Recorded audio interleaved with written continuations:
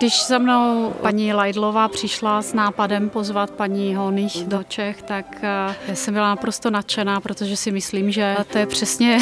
člověk, kterého tady potřebujeme, aby pěvce seznámila s tím, co je podle mě základ zpěvu a to je dech.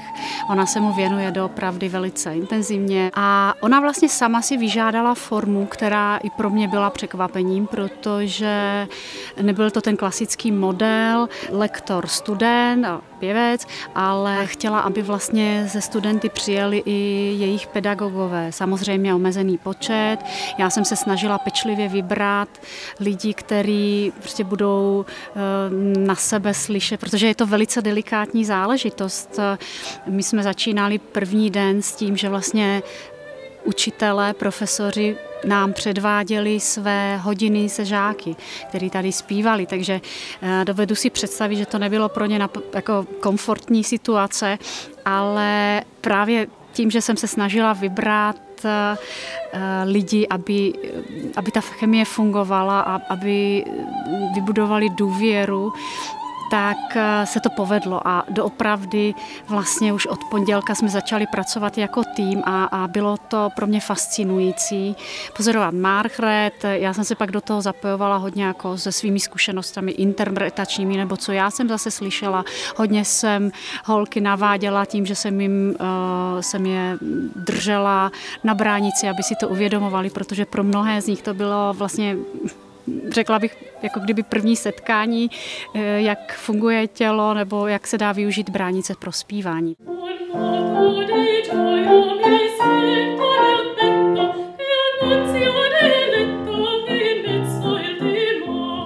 jsem moc nadšená, že jsem tady na těch kurzech mohla být právě už od pondělí, protože uh, jsem poznala uh, během těch několika dnů uh, výjimečné lidi na těchto kurzech a taky každý den mě dal něco nového do toho mého života, co se týká operního zpěvu. A um, hlavně tady panovala fakt příjemná, krásná, pohodlná atmosféra s lidmi, byla tady pozitivní energie, takže ta práce byla mnohem eh, víc efektivnější, víc zábavnější, pozitivnější a hlavně i tady to prostředí, tak je opravdu až dokonalé, protože člověk za ten den udělal hodně práce a mohl si takhle odpočinout v té přírodě, poslouchat ptáky.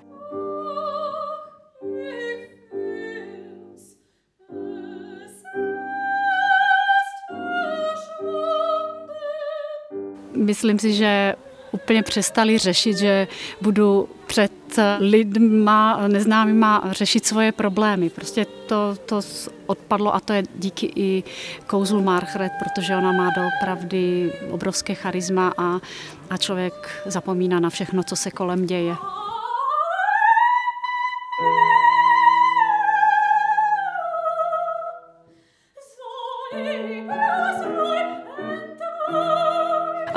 Tak Margaret mě vedla v té výuce eh, k tomu, abych poznala ještě svoje tělo, eh, jak funguje, do jakých míst se mám vůbec nadýchnout, abych mohla eh, zpívat a ten tón byl krásně čistý, znělý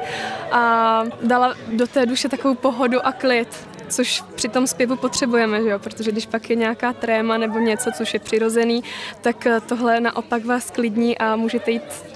s čistým svědomím všechno, co jste se naučila za ty kurzy, tam ukázat. A co se týká Simony a její výuky, tak eh, tam zase jsem spíš spozorovala, že mě hodně dala do té interpretace. Eh, samozřejmě taky tam bylo propojení toho dechu, což si,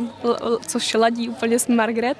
a, ale ta interpretace, co dát najevo, co je v té skladbě důležitý, o čem je, eh, jak to procítit, prožít.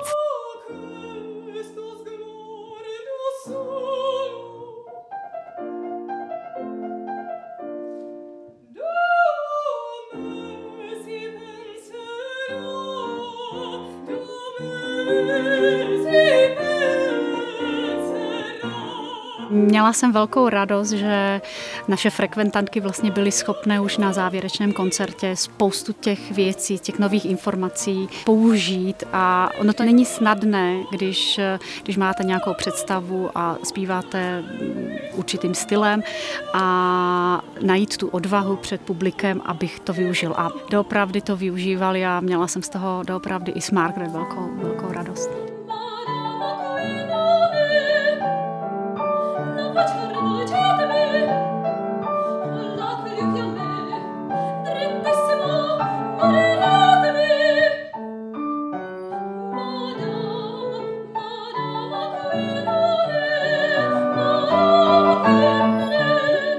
Dalo mi to do toho života už teď, až příliš, těch zkušeností nebo těch momentů, co jsme tady zažívali a hlavně do toho operního zpěvu, no, že abychom věděli, o čem to je a určitě bych se sem vrátila právě už i kvůli tomu, abych se dál mohla vyvíjet v takovém nádherném prostředí.